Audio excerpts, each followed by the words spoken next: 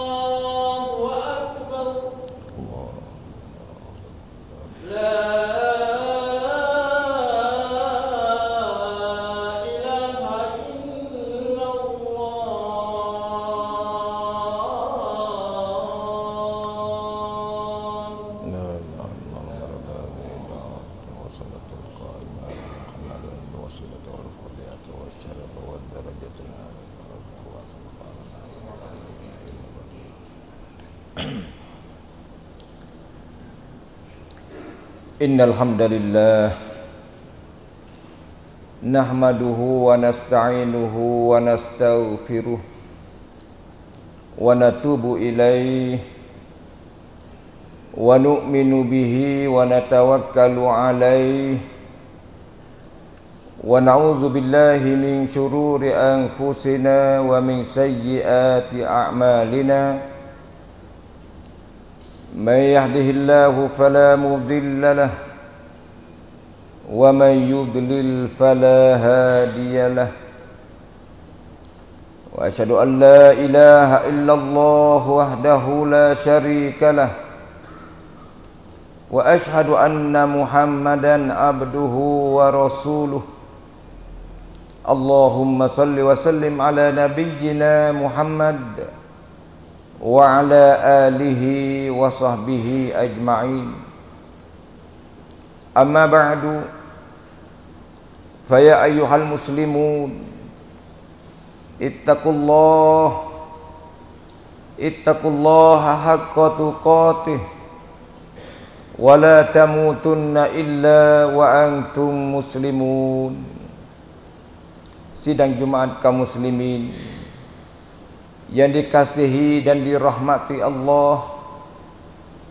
Bertakwalah kamu kepada Allah dengan sebenar-benarnya.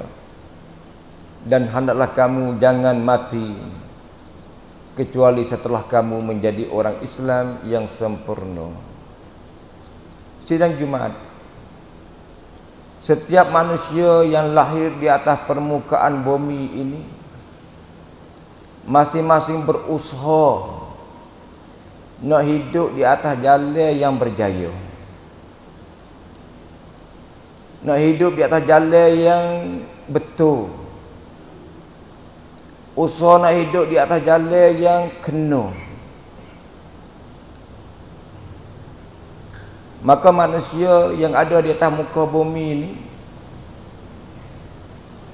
macam-macam dia cari jalan. Ada hak temu jalan hak palsu. Dia duk bergantung di atas jalan tu. Dia hak palsu sampai kesuk akhir hayat dia. Ada setengah-setengah pergi berjumpa dengan jalan hak tak betul. Jatuh parit tak ada berhenti. Ada setengah dia pergi berjumpa dengan jalan yang dibenci dan dimurkai oleh Allah. Dia pergi bertemu waktu duduk satu maka dia akhirnya dia menjadi orang yang dibenci dan dimerkai oleh Allah. Dan di atas permukaan bumi ini macam-macam pertunjukan. Macam-macam jalan yang dibuatkan oleh manusia beribu jalan. Kesemua itu jalan yang tidak boleh membawa kita kepada syurga Allah Subhanahu wa taala. Kesemua jalan yang direka dan dibentuk dan di, di, di, dibuatkan oleh manusia Yakinlah bahawa Tak siapa kita nak berjumpa dengan kebenaran. Al-Haq yang sebenar Yang dijamin oleh Allah Subhanahu Wa Taala. Maka jalan yang paling betul Tunggal. Satu saja agama apa ajaran yang betul. Jalan yang betul Pertunjukan yang betul yaitu pertunjukan Allah. Zalika hudallahi yahdi bihi man yasha wa man yudlilillahu fama lahu min had. Al-Quran itu merupakan hudallah pertunjukan Allah. Sebenarnya tak ada lain. Semasa umat Nabi Muhammad Sebelum dari sebelum daripada Nabi Muhammad banyak kitab Taurat, ada kitab Injil. Tapi pada siapa masa Nabi Muhammad sallallahu alaihi wasallam masa kita ini zalika hudallah al-Quran itu ialah petunjukan Allah. Hal lain ada. Yahdi bihi man yasha' dan Allah memberi pertunjukan kepada hambanya siapa yang ia kehendaki dengan Al-Quranul Karim. Satu ni je Allah beri pertunjukan kepada manusia yang ia kehendaki dengan Al-Quranul Karim kerana Al-Quran merupakan hudallah. Jelas ayat ini berarti Al-Quranul Karim yang diturunkan oleh Allah Subhanahu Wa Taala merupakan hudal linnas pertunjukan bagi manusia sebab apa? Kerana Al-Quran merupakan pertunjukan manusia, pertunjukan Allah. Hak lain itu pertunjukan manusia belaka. At-Taurat pada masa ini telah dipalsukan oleh orang-orang Yahudi. Asalnya mari daripada Allah. Tapi manusia Yahudi kita beki, kita tambah, kita beki, kita tambah. Berarti At-Taurat pada masa sekarang merupakan hudan pertunjukan Allah bercampur dengan pertunjukan manusia. Maka palsu. Begitu juga Al-Injil yang dipegangkan oleh orang Kristian. Asalnya mari daripada Allah bersih. Tapi orang Kristian kita beki, tokok, tambah, ubah, suai mengikut kehendak mereka. Akhirnya Al-Injil menjadi hudan Allah yang bercampur dengan hudan manusia. Maka palsu. Hudan yang sebenar, hudan Allah, pertunjukan Allah yang sebenar ialah Al-Quranul Karim yang datang daripada Al-Quran dan tak bercampur dengan mana-mana pendapat manusia. Tak bercampur dengan mana-mana hudan manusia. Kerana dijaminkan oleh Allah Subhanahu wa taala inna nahnu nazzalna dzikra wa inna lahu lahafizun. Ra'isa ni Allah rapatkan dia nak jaga dia nak jaga. Tak usah kita beki, tak usah kita ubah. Tak usah kita tambah. Tak kuasa manusia nak pergi beki nak tambah kerana Allah sendiri yang nak jaga Quran biar selamat ke hari kiamat. Sidang Jumaat yang dikasihi dan dirahmati Allah. Manusia berhajat kepada akidah yang sahihah. Tak ada cara lain kita nak mendapat akidah yang sahihah melainkan dengan mendapat hudallah. Apabila Allah beri hidayah kepada kita dengan Al-Quran tentang akidah, maka kita bolehlah akidah yang sahih. Alhamdulillah. Kita nak beriman yang betul. Tak boleh seseorang manusia nak beriman dengan betul melainkan dengan pertunjukan Allah dengan Al-Quranul Karim.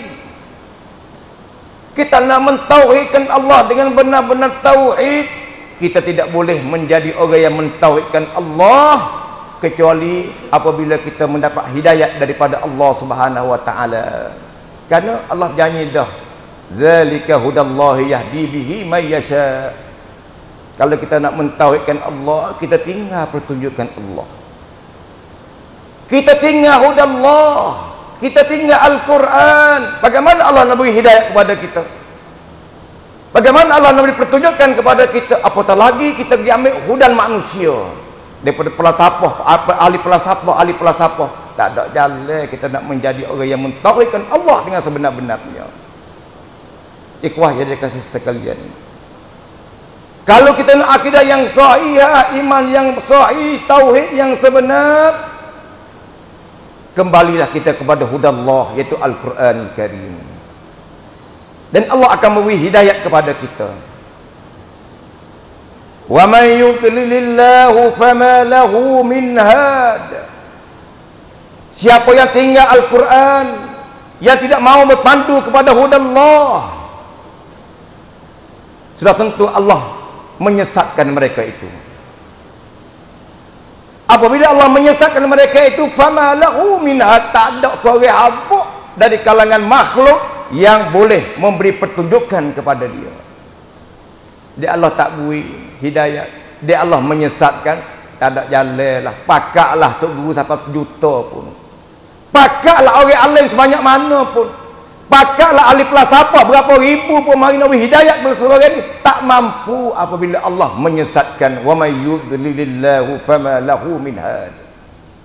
Sidang Jumaat yang dikasihi dan dirahmati Allah Subhanahu wa taala sekalian. Bukan hanya akidah iman tauhid saja kita berhajat kepada pertunjukan Allah. Semua. Hal ibadat hal munakahat hal muamalat hal cara hidup hak akhlak, hak politik, hak ekonomi, hak pendidikan, segala-gala yang diperlu oleh manusia, manusia tak berjopok dengan kebenaran yang sebenar, manusia tak berjopok dengan apa yang dijanji oleh Allah dengan kebaikan, melainkan dengan hudallah, yahdi bihi may yasha. Yakinlah sidang Jumat yang dikasih sekalian. Kalau kita tidak kembali kepada Al-Quran, tak ada jalan kita nak selamat hidup di dunia dan di akhirat. Afamai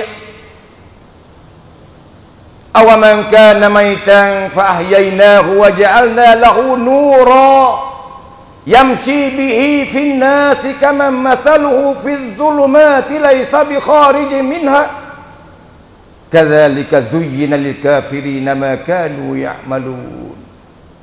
Allah buat perbandingan. Orang yang mati.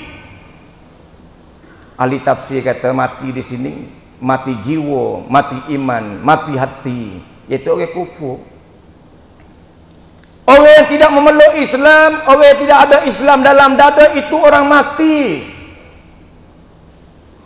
Apabila seseorang yang mati itu fa'ahyainahu maka Allah Allah berkata kami menghidupkan dia. Menghidupkan dengan Islam. Berarti Allah beri hidayah kepada dia boleh meluk agama Islam. Asyhadu an la ilaha illallah wa asyhadu anna Muhammadar Rasulullah. Hiduplah boleh ada Islam. Waja'alna lahu nura.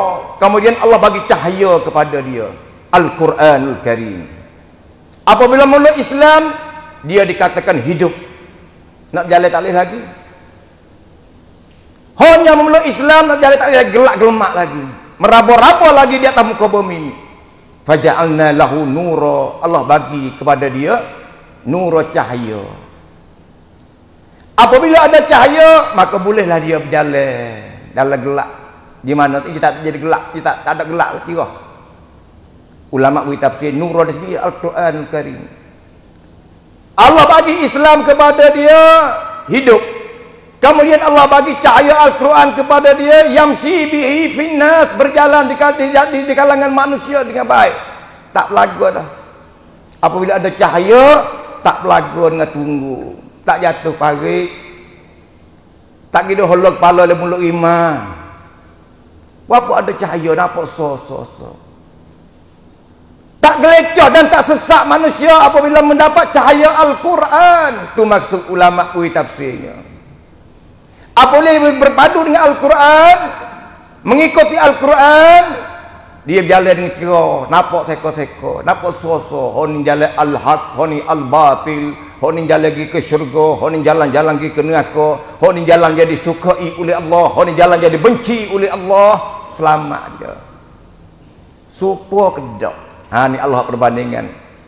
Adakah sama dia ni dengan seorang yang tetap dalam kegelapan dan kegulitan tak dan tak tubik daripada gelap gulita tu. Boleh gelap semua-semua. Berarti dia dalam kufur. Tak sama. Tapi orang yang tidak mendapat Islam, orang yang tidak memeluk Islam dan orang yang tidak mendapat cahaya Al-Quran dan orang yang tidak mendapat pertunjukan daripada Al-Quran, dia berasa kena. Dia berasa betul. Dia berasa puncai bangga. Jalan akik bahu berasa kena berasa megah. Kenapa? Kenapa soalannya? Kerana ia dihiaskan oleh syaitan. Syaitan menghiaskan amalan buruk amalan jahat Amalan yang dimerkai oleh Allah, akidah yang palsu, iman yang menyeleweng, tauhid yang bercampur syirik itu bahasa kena, bahasa molek, bahasa betul karena diperjangukkan oleh syaitan. Diperhiaskan oleh syaitan. Betul dah akidah hak ni. Betul dah iman hak ni. Hak mu dua mau siap tu molek dah. Kena dah mu tak kufur ni. Kena dah mu tak menjauh pada Al-Quran ini. Mutamik hidayah pada Al-Quran kena dah betul dah. Ditipu, digoda, dihias oleh syaitan laknatullah alaihi. Sidang Jumat yang dikasihi dan dirahmati Allah. Di antara dua gulungnya saat ini, Saya tanya supa ke tak? Maka jawab mudah-mudahnya tak supa. Dan soalan ini bukanlah nak kepada jawapan, nak royak. Nak royak kata tak sama manusia yang ada Islam yang berpandu kepada Al-Quran sebagai cahaya dalam hidupnya, sebagai pertunjukan dalam hidupnya dengan orang yang duduk dalam gelap gulita yang tidak ada cahaya Al-Quranul Karim. Sidang Jumat yang dikasihi dan dirahmati Allah. Nak turut Quran bukan pilihan. Nak pilih, nak turut pun boleh. Tak saya turut pun boleh. Bukan. Perintah Allah kam sang cha Allah.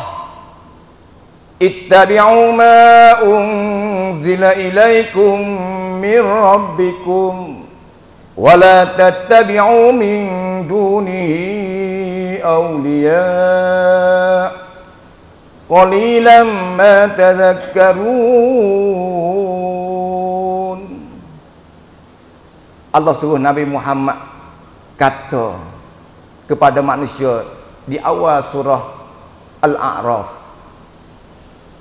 Ittabi'u handalah kamu ikut akan apa yang diturunkan daripada Tuhan kamu. Al-Quran. Jadi turunkan kepada daripada Tuhan kamu kepada kamu Al-Quran. Handalah kamu ikut Al-Quran. Ini perintah Allah. Tak ada jalan. Kita nak kata, eh, tak apa. Orang lain pun molek, kita ambil orang lain. Tak apa tak boleh. Selama mana kita dah mengaku kita orang Islam, kita orang mukmin, kita orang yang nak kejayaan hidup di dunia dan di akhirat, maka kita termasuk dalam kamsang hak saning hendaklah kamu ikut Al-Quranul Karim. Kalau ayat dia beradu sekat tu, kita turut Quran, turut lain ayat wala tattabi'u min dunihi awliya. Mu jangan hal lain. Mu jangan tunggu selain daripada Allah selain daripada Al-Quran. Jangan tunggu apatah lagi perkara-perkara amalan-amalan pegenge-pegenge yang hasil daripada amalan syaitan. Jangan. Tapi qalilan ma tadhakkaru sedikit saja kamu mengambil pengajaran daripada itu Sidang Jumat yang dikasihi dan dirahmati Allah. Kita hendaklah sedar, marilah kita insaf. Kita beriman dengan Al-Quran. Bagaimana cara kita beriman dengan Al-Quran? Kita mengaku belakang aku beriman dengan Allah, aku beriman dengan para malaikat, aku beriman dengan Rasul-Rasulullah, aku beriman dengan kitab-kitab Allah, aku beriman dengan qada dan qadar, aku beriman dengan hari kiamat. Soalannya bagaimana nak beriman dengan Allah? Apakah hak Allah ke atas kita dan apakah hak kita ke atas Allah? Soalannya bagaimana kita nak beriman dengan malaikat? Bagaimana kita nak beriman dengan para rasul? Bagaimana kita nak beriman dengan kitab-kitab Allah? Bagaimana kita nak beriman dengan qada dan qadar dan bagaimana kita nak beriman dengan hari kiamat? Ini perlu kita mempelajari. Dia tak mari dengan sendiri, dia kena belajar tak boleh kita ilmu yang paling baik nak pertunjukkan supaya rukun iman kita itu sempurna tak ada jalan lain dengan Al-Quranul Karim sahaja. Sebab itulah Rasulullah SAW membina manusia membina akidah membina iman membina tauhid membina ibadat membina akhlak membina cara hidup di segi politik di segi ekonomi dan sebagainya dengan Al-Quranul Karim huwallazi ba'atha fil ummiyina rasulan minhum yatlu alaihim ayati.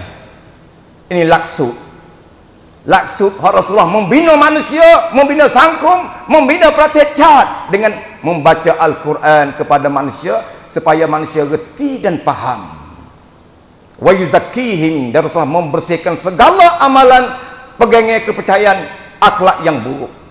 Wa yu'allimuhumul kitab wal hikmah dan membaca mengajar Al-Quran dan hikmah kepada manusia tiga laksud dalam ayat ni yang Allah yang Rasulullah membina manusia. Berubah manusia. Daripada sesak daripada kepercayaan yang karut marut daripada akidah yang menyeleweng daripada iman yang tidak betul daripada tauhid bercampur syirik daripada akhlak buruk segala-galanya buruk sekalipun mereka itu berada dalam kesesatan yang nyata bubuh jadi molek habis hasil daripada Rasulullah membina mendidik dengan Al-Quranul Karim sidang Jumat yang dikasihi dan dirahmati Allah tak ada jalan kita nak jadi orang yang sempurna di sisi Allah tak ada jalan keluarga kita nak jadi keluarga Islam yang sebenar. Tak ada jalan sangkum kita nak menjadi sangkum yang bermahabbah, berkasih sayang, bertahun. Tak ada jalan. Selain daripada kita kembali kepada Al-Quranul Karim. Barulah ada jalan. Sebab itu, saya bersuruh diri saya sendiri dan kepada ikhwas sekalian. Di hari ini siapa dah masa kita nak kembali kepada Al-Quran. Hidup dengan Al-Quran, ma'al Quran. Barakallahu li wa lakum fil Qur'anil azim wa nafa'ani wa iyyakum bil ayati wa dzikril hakim wa taqabbala minni wa minkum tilawatah innahu was samiul alim وأستغفر الله لي ولكم ولسائر المسلمين والمسلمات من كل ذنب فاستغفروه إنه هو الغفور الرحيم. اللهم صل على محمد وعلى آل اللهم صل على محمد وعلى آل اللهم صل على محمد وعلى آل محمد. الحمد لله رب العالمين الرحمن الرحيم مالك يوم الدين. أشهد أن لا إله إلا الله وحده لا شريك له وأشهد أن محمدا عبده ورسوله اللهم صل وسلم على نبينا محمد وعلى آله وصحبه أجمعين أما بعد فيا عباد الله أوصيكم وإياي بتقوى الله وطاعته لعلكم تفلحون وهي sekalian hamba Allah saya berwasiat dan berpesan kepada diri saya sendiri dan kepada semua sidang jemaat sama-samalah kita bertakwa kepada Allah sama-samalah kita mentaati Allah mudah-mudahan kita termasuk dalam gulungan manusia yang berjaya di dunia dan di akhirat Sidang Jumat yang dikasihi dan dirahmati Allah. Cara kita nak boleh hidayat daripada Al-Quran. Nak hewi hidayat kepada kita dengan Al-Quran. Kita kena faham dalam Quran itu ada kata gapo. Kita kena faham. Gapo tu ada kata dalam Quran. Kalau kita tak faham, kita ada kuma, kita ada katalog, tapi kita tak kerti je royak gapo. Bawa dengan tak bawa kata Allah tadi serupa ya. Yang kita nak boleh mengejar daripada tu cara kita belajar faham. Al-Quran kita kena faham. Dia hari ini alhamdulillah dah siapa tempat kita. Majlis-majlis tadarus Al-Quran. Halakah-halakah tadarus Al-Quran. Talitik bukan tali tek YouTube dia hari ni klik apa penuh pena dia hari ni mengajar tafsir Al-Quranul Karim kalau kita kata tak ada masa nak belajar tafsir tak ada masa nak buat halakah Al-Quran tak ada masa nak dengar YouTube-YouTube yang berkaitan dengan tafsir Al-Quranul Karim nyanyo kita kesia kita kenapa tak ada hari kita nak boleh kenal sungguh gapo dia akidah yang sebenar. Bagaimana iman yang sebenar? Bagaimana tauhid yang sebenar? Tak ada jalan. Karena khuluquhul Quran, Rasulullah akhlak Al-Quran. Kita tak reti Quran. Mana mana akhlak Rasulullah dalam Al-Quran? Akhlak dalam Al-Quran semua itu akhlak Rasulullah. Kita tak faham. Gapo tak tahu. Bagaimana kita nak berakhlak dengan akhlak Al-Quran kalau kita tak faham? Sidang Jumat yang dikasihi dan dirahmati Allah. Saya mengajar tafsir di rumah saya. Di kampung saya di masjid. Lepas maghrib, lepas isyak, lepas subuh. Setiap kali, setiap hari, setiap hari. Semasa saya tak ada, elang ganti. Baru lima malam, khotam kali yang kelima. Lalu masuk kali yang keenam. Duk baca lima kali, duk mengajar lima kali, kita faham, kita reti lah. Allah, banyak lagi lah. Aku tak tahu. Baru tahu setelah kita belajar tafsir ni. Banyak lagi cara-cara kita nak beribadat kepada Allah dengan betul. Nak berakidah yang sahih, nak menguatkan iman kita, nak sampai kepada martabat wabil akhirati hum yuqinun. Banyak lagi dalam Al-Quran yang menceritakan kepada kita. Kalau kita belajar, kita boleh tahu. Kita berasa kau nak tahu lagi. Yakinlah. Kalau kita tak belajar, kita tak tahu. Berasa tak ada faedah apa kalau belajar Al-Quran. Kita kena dah, berasa betul dah. Apatah lagi digoda, ditipu oleh syaitan. Tapi belajar Al-Quran, belajar tafsir Al-Quran, kita kena ingat mulai berat. Satu amalan, suatu pekerjaan yang paling berat nak dilakukan oleh orang Islam kerana syaitan paling-paling marah kepada orang Islam kalau dia nak kembali kepada Al-Quranul Karim. Yakinlah. Syaitan tak jam. Tapi kalau kita lasak bergagah molek, dari siku balik suatu ting tunggu boh setan. Benda kita apa. Sebab itu marilah kita kembali kepada Al-Quran, marilah belajar Al-Quran, tafsir Al-Quran Karim dan di masjid ni pun setiap pagi ada tafsir Al-Quran Karim. Mudah-mudahan kita pakat reti, pakat faham Al-Quran, kita boleh beramal dan kita boleh mengikuti Al-Quran, maka insya-Allah kita akan menjadi orang yang betul-betul mendapat kejayaan di dunia dan di akhirat. Inna Allah wa malaikatahu yusalluna ala nabi. Ya ayuhalladzina amanu sallu alaihi wa sallimu taslima. Allahumma salli wa sallim ala nabiyyina Muhammad wa ala alihi wa sahbihi ajma'in. Allahumma fil Allahumma fil Allahumma fil muslimina wal muslimat wal mu'minina wal mu'minatil ahya'i minhum wal amwat. Allahumma a'izzal islam wal muslimin wa adilla syirka wal musyrikin wa dammir a'da'ad din ربنا اغفر لنا ولإخواننا الذين سبقونا بالإيمان ولا تجعل في قلوبنا غلا للذين آمنوا. ربنا إنك رؤوف رحيم. اللهم اهد قومنا فإنهم لا يعلمون. ربنا افتح بيننا وبين قومنا بالحق وأنت خير الفاتحين. ربنا ظلمنا أنفسنا وإن لم تغفر لنا وترحمنا لنكونن من الخاسرين. ربنا أتنا في الدنيا حسنة وفي الآخرة حسنة وقنا عذاب النار. عباد الله Inna Allah ya'muru bil adil wal ihsan Wa ita'idil qurba wa yanha anil fahsyai wal munkari wal bal. Ya'idhukum la'allakum tadakkarun Fadhkurullaha al-azima yazkurkum. Wa ala ni'amihi yazirkum Wa la akbar.